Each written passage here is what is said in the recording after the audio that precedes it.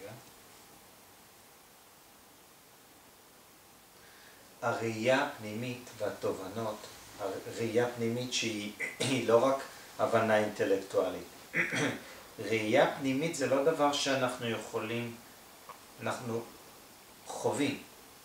היא ראייה, זה אור פנימי שמגלה, הוא חושף, ואז מנטלית אני יכול להסביר לעצמי ואני מבין את זה, כלומר זה בא לעוד רובד מנטלי כבר, ליותר חיצוני. בסדר? אם אני רק מבין את זה ברובד... לזה קוראים הגשמה. אה? זה הגשמה. מהמילה גשמית. כאילו ככל שאני מוריד את זה יותר לתודעה, להבנה, נכון, זה, זה יותר גשמי. גשמי. נכון. ואז בגלל זה יש, הוא, פה הוא דיבר. For many lifetimes you've been immersed in ignorance. בהרבה גלגולים אתה שקוע בתוך בורות. You're habituated to it. אתה רגיל לזה.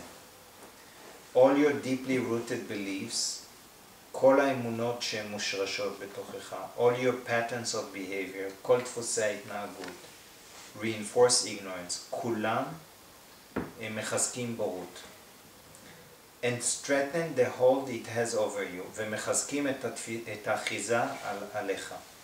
This ignorance is so strong, הבורות הזו כל כך חזקה, so deeply enmeshed in all your psychological structures, היא, היא כל ספוג בכל ההתניות השכליות, המבנה, ה-construct. תבניות, תבניות. אוקיי. It takes a massive effort over a long period of time to break, to break free of it. זה דורש uh, מאמץ מסיבי, לאורך זמן, ארוך פה, ממושך, ל, ל, ל, ל, ל, to break free from it. עכשיו, the habits and beliefs that sustain it have to be challenged again and again. זה אומר ההזדהות השגויה, יש לראות את זה כל פעם, עוד פעם ועוד פעם ועוד פעם, וככה זה מתמוסס, וככל שאתה חווה את עצמך ורואה את זה עוד פעם, וחווה את עצמך ורואה את זה עוד פעם, בעצם עכשיו כל, כל פעם ההבדלה נהיית יותר עמוקה, יותר בהירה שזה לא אני, יותר בהירה זה זהות שגויה, יותר בהיר שזה בכלל תמונה מנטלית. זה הולך ומתפוגג, זה אומר הדחיסות של זה נהיה פחות ופחות ופחות ופחות, והממשות של עצמך זוהרת יותר ויותר ויותר. אם זה לא קורה ככה, זה אה, נשאר סופרפישל על פני השטח. ואז גם הכל נשאר מנטלי.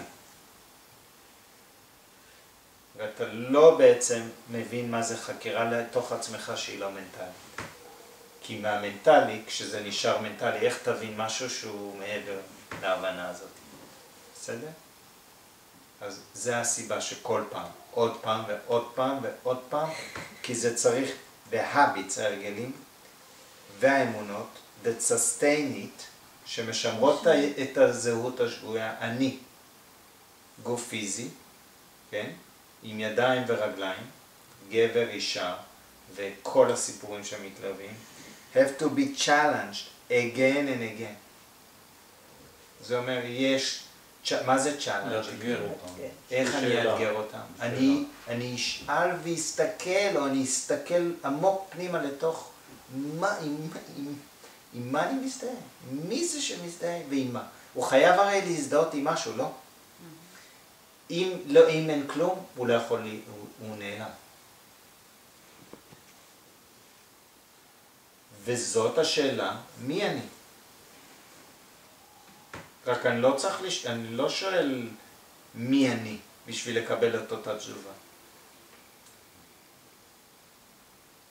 כי, כי אם זה יישאר השאלה ואותה תשובה, זה ישאיר אותי באותה ראייה. כי אני אראה את השאלה כמחשבה ואת התשובה, את התשובה כעוד מחשבה.